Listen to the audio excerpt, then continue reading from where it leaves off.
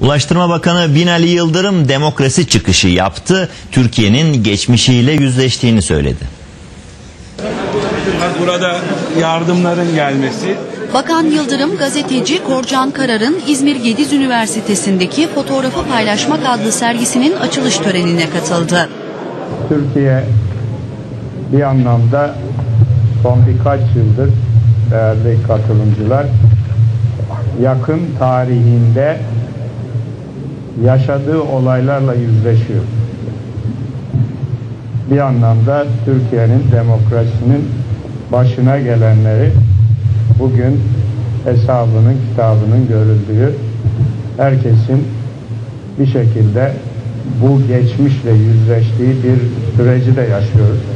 Bu anlamda da bence e, geçmişi bir film şeridi gibi günümüze getiren, bize taşıyan bu etkinlikte daha fazla anlam kazanıyor.